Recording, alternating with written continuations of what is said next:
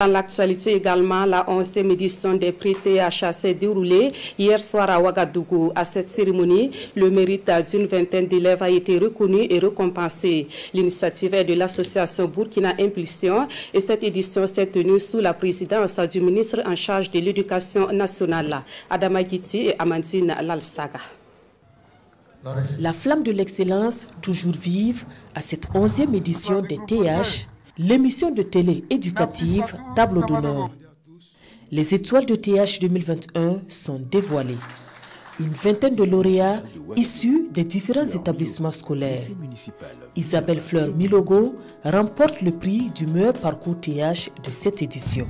Je suis très contente. J'étais un peu surprise.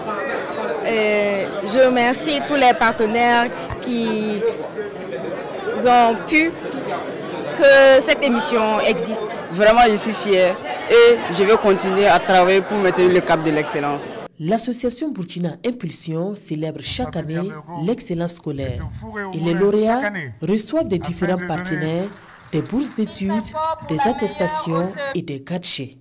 Si nous sommes là aujourd'hui, c'est pour récompenser les meilleurs élèves et qui dit élèves, ce sont les enseignants qui sont derrière ces élèves.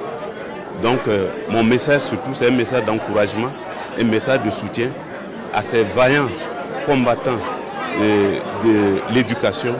L'édition 2021 du programme TH est présidée par le professeur Stanislas Ouaro, ministre en charge de l'éducation nationale, qui salue l'initiative. Cette soirée célèbre aussi la résilience de notre système éducatif au regard du contexte que nous connaissons tous et montre qu'au-delà de tout ce que nous avons dans notre système éducatif comme difficulté en lien avec la crise sécuritaire, euh, il se porte assez bien et nous devons poursuivre.